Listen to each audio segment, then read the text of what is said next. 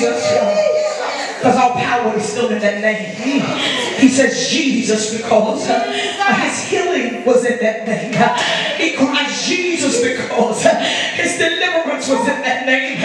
He cried Jesus uh, because salvation was in that name.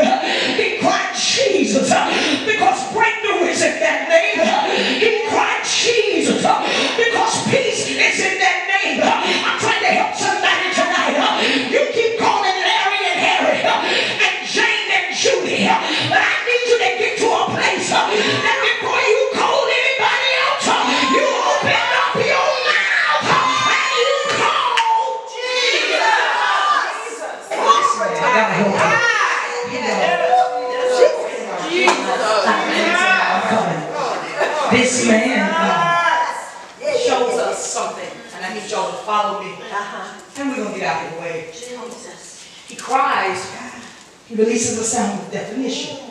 He begins to cry, Jesus, thou son of David. Jesus, thou son of David. When he cries, thou son of David, he's showing us something that, that many people won't pay attention to because we start to holler off the fact that he hollered. But what he showed us is that even though I'm blind and I'm postured over here on the side of the road and people feel like I don't know nothing, I do know who he is. Okay. Never mind.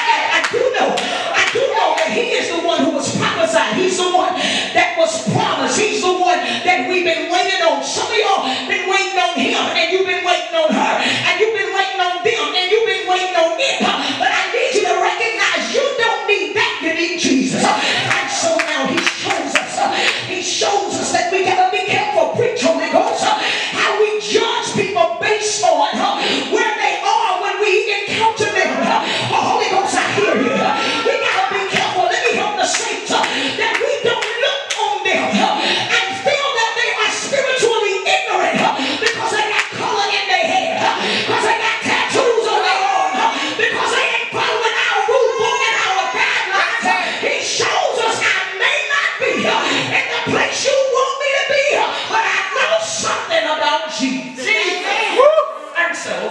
see in the text.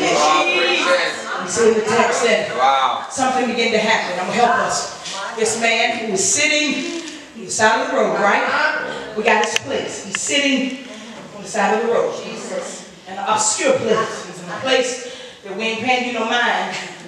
Uh, we ain't studying you. That's how we say it. Folks in North Carolina, we ain't studying you. Uh-huh. You ain't got money for us to spend, so we don't want to be bothered. You ain't ride your coattails, so no, we stay on. Yeah, over there. Wait a minute. We see his place and, and we understand his posture. He's a beggar because he's blind. So, so, so, so, so this man shows us something. Apostle, it's not just noise.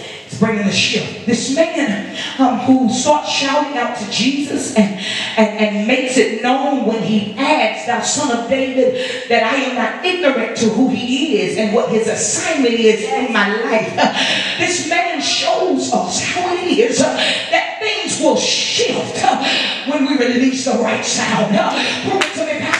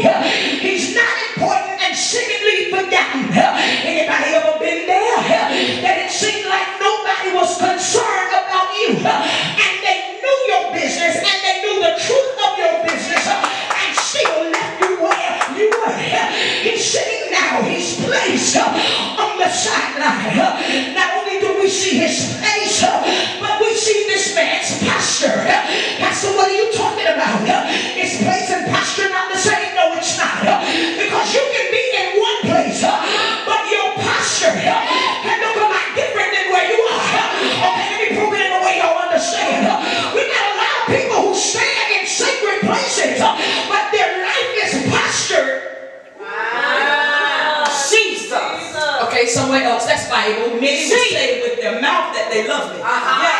Oh my God. The heart. The heart. So. The book said this far from each other?" We have this place, but then we see this man's postures because the Bible, the Bible said he's blind devil, right? And so, with the consensus of the day, with the consensus of the day, there were two things that followed uh, people who were blind. Number one, they were going to be broke. Because if you can't see, you can't produce nothing. They were gonna be they were gonna be broke. And when you're broke, it usually puts you in a posture of shame. So we got this place. It's not important, he's on the sideline. But now he's posturing, I can take the liberty to say in a place of shame, in a place that, that he understands I'm I'm living with the results of something that I did not cause to come on myself. Oh, it's like, well, don't y'all?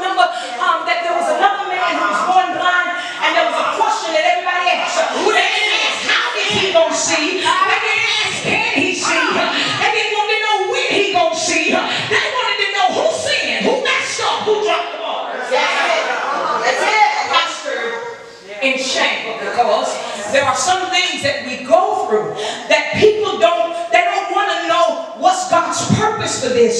They want to know what did we do to end up where we were.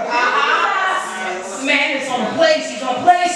The significance, and he's postured in shame and he has no sight. He has no sight. Often when we hear sight, uh, it's synonymous with vision, right?